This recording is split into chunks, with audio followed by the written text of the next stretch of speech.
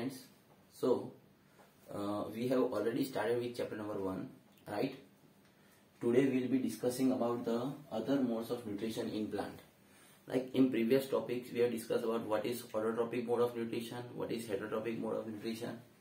Then after we have discussed about in detail how do plant produce their own food right? That is photosynthesis process that we have discussed in detail and then after we have discussed about uh, how plants produce other nutrients other than carbohydrate right? Wherein we have discussed about how nitrogen is available to the plant.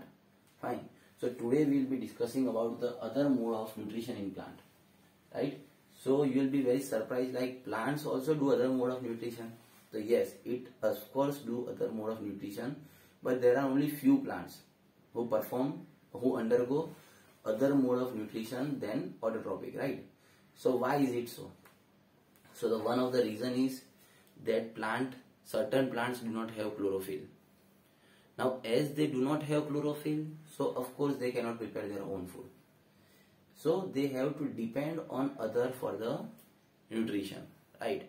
So I would say there are plants which do not prepare their own food. So which type of nutrition they will undergo? Heterotrophic nutrition. Right? Heterotrophic mode of nutrition wherein what? Plants depends on other plants or animals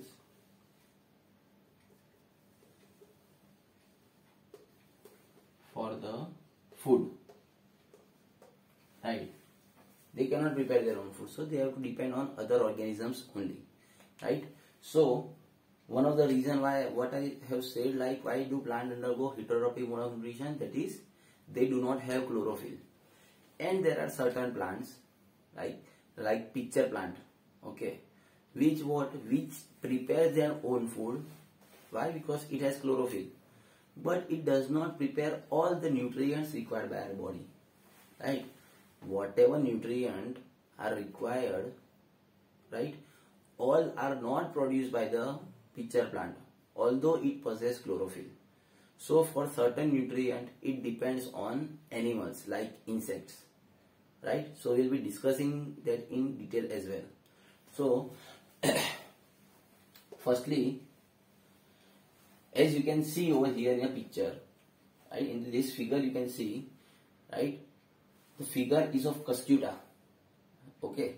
This is cuscuta plant wherein you see the yellow structure that is twinging around the plant. Twinging around the other plant right? Twinging means winding around the other plant and getting nutrition from that right? Why? Because cuscuta cannot prepare its own food. You can clearly see the yellow structure, right? Understood? Yellow tubular structure that is twinging around the, twinging on the other plant for its food, right? Because it cannot prepare its own food. So there comes, so in this relationship where one plant is getting benefited, that is Cuscuta, right? Which acts as a parasite plant or parasitic plant whereas the other one which is getting loss which is giving its valuable nutrition to the cuscuta right? That plant is called host plant right? So let us discuss those two terms. The what is the term? Parasite and other one is host right? So what is parasite and what is host right? So here we have discussed in the figure like what Okay, parasite is what? Cuscuta. So what we can say about parasite? You can say parasite can be an animal as well. Right? So we can say the organism which gets which gets nutrients from the other organism is called parasite and here our example for parasite is Cuscuta. Right? So what is host? Right? What does host mean then? Okay. So host is what? The plant from which from which the parasite is getting is taking a nutrient. So what I can say host? The organism,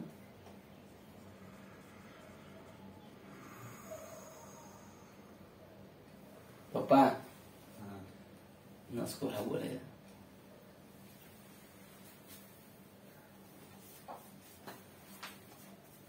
So what is host the plant or organism what is host so what is host the organism from which other organism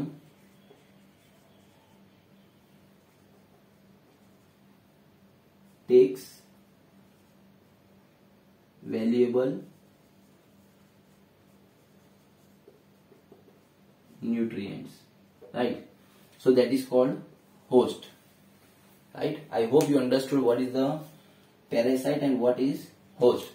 In the higher standards you will discuss like parasite and host. This is one of the relationship.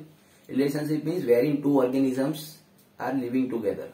So here we are discussing we, we can see like parasite is a plant which is getting benefited whereas the host is host is a plant which is getting lost. Why? Because it is nothing it, it does not get anything from the other plant.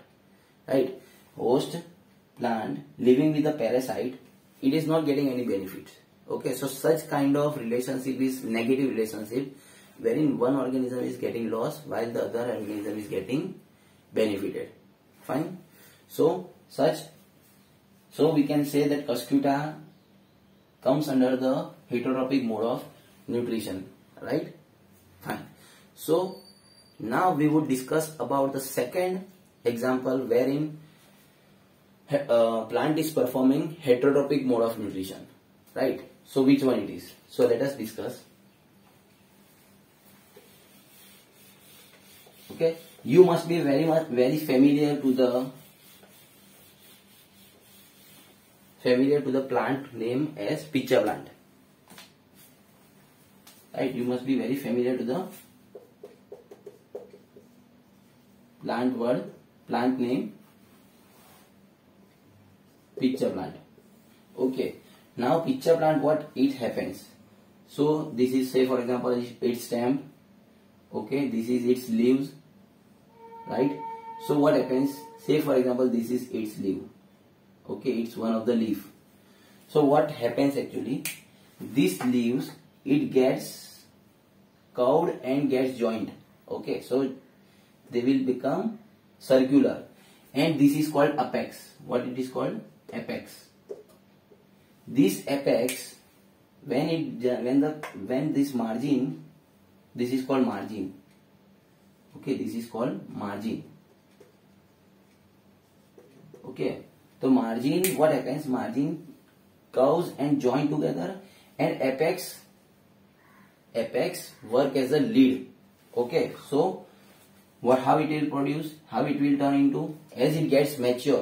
Okay as it gets mature it will be into it will look like this right? This figure you can see wherein what? There is a picture like uh, shape is there having a lid right? So that is how it is how the pitcher plant looks. And it is a leaf part of the pitcher plant. Okay. Now what actually happens? Okay. Pitcher plant is green in color that also you can see. But the problem with pitcher plant is it cannot prepare all its own food. Although it possesses chlorophyll but it cannot prepare all the nutrients. It can prepare only certain nutrients right? So all the nutrients are required by an organism for healthy growth right? So for other nutrients it, it depends on insects right? It depends on insects. So what actually happens so within that picture pot whenever the insects enter okay via opening what actually happens? Inside the uh, inside the picture there is a hairs. There are tiny tiny small hairs are there. Okay. So those whenever the uh, insects moves inside what happens? That that insects get trapped okay. That insects get trapped in the hairs. Right and then the lid gets closed. Okay so now what the insect cannot move outside. What actually after that uh, the pitcher plant does is it secretes the digestive juice. It secretes the digestive juice and kills the insect deprive nutrition from it right? And fulfill its whatever requirements of nutrition is there right?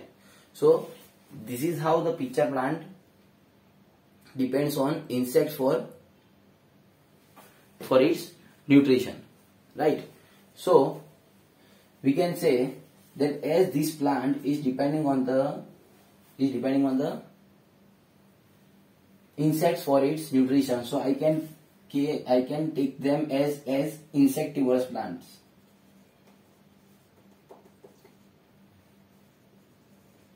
right? I can consider them as insectivorous plants as it depends on insect for its nutrition right? I hope you understood what uh, we have discussed the two examples of heterotrophic nutrition that is Cuscuta plant there is parasite and host relationship as we have discussed and here in the pitcher plant where we have discussed about it depends on insects and how does it gets nutrition from the insect. Thank you class. Fine.